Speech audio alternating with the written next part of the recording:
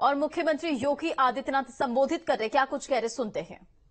तैयारियाँ युद्ध स्तर पर चल रही हैं। उसी में से समय निकाल करके आज मुझे यहाँ पर आया हूँ, मैं यहाँ आया हूँ। और मुझे प्रसन्नता है कि संगठन, जनप्रतिनिधियों ने मिलकर, प्रशासन ने मिलकर के 25 जनवरी के कार्यक्रम को पूरी भव्यता के साथ आयोजित करने की तैयारी पूरी कर ली है। यहाँ पर प्रधानमंत्री जी का जो कार्यक्रम होगा बुलंदसर और मेरठ कमिश्नरी के प्रोजेक्ट का लोकार्पण और शिलान्यास भी होगा।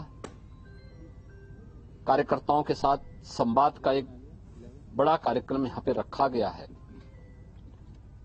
प्रधानमंत्री जी के जो कुछ प्रस्तावित कार्यक्रम जनवरी और फरवरी के हैं, उनमें उसकी शुरुआत पश्चिमी उत्तर प्रदेश के बुलंदसर से होने जा रही है और इस अवसर पर प्रधानमंत्री जी के स्वागत के लिए पश्चिमी उत्तर प्रदेश पूरी तरह तैयार है। आज उसी की समीक्षा करने के लिए यहाँ पर आए हैं। यहाँ पे बहुत सारे प्रोजेक्ट हैं जो बुलंदसर में बाबूजी कल्याण सिंह जी के नाम पर बना हुआ नया मेडिकल कॉलेज का लोकार्पण का कार्यक्रम भी है। डेडिकेटेड फ्रेट कॉरिडोर के सेक्शन का लोकार्पण का भी है।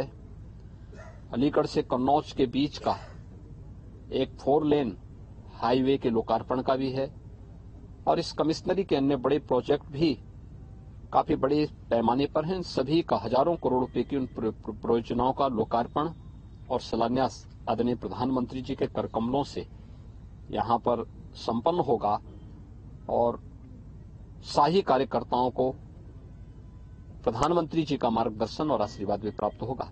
इसीलिए आज मैं यहाँ पर इसकी व्यवस्था देखने के लिए आया था और मुझे प्रसन्नता है कि यहाँ पे तैयारियाँ युद्ध स्तर पर चल रही हैं। 22 के कार्यक्रम के उत्साह के साथ साथ प्रधानमंत्री जी के 25 के कार्यक्रम के लिए भी कार्यकर्ता पूरी तैयारी के साथ और पूरी तन्मयता के साथ लगे हुए हैं। धन्यवाद जी। तो मुख्यमंत्री योगी आदित्यनाथ को आप सुन रहे थे बुलंदशहर के दौरे पर और इस बीच वो संबोधित करते हुए मीडिया को और तमाम बड़ी बातों का उन्होंने ज़िक्र किया।